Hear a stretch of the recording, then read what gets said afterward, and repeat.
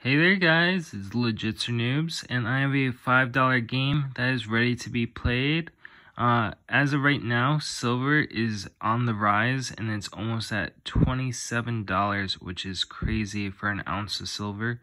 But uh, here are some $5 games. So we have the Delaware Valley. Pretty cool. And on the back it says 1 troy ounce. Then we have the Liberty Bell.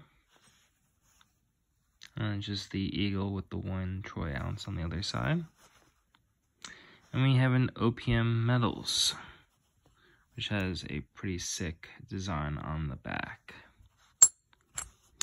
So if you guys want to play, you know the deal. Spots 1 through 10, $5 a spot and you have a chance of winning an ounce of silver. And as I said, you know, silver's on the rise, guys. So get it when you can when it's cheap.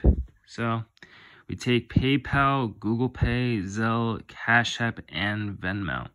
So for $5 or even $10, you still have a chance of winning an ounce of silver. So once this spot fills up, we'll run it.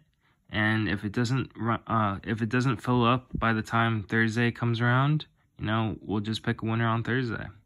All right, see you guys soon and have a wonderful week.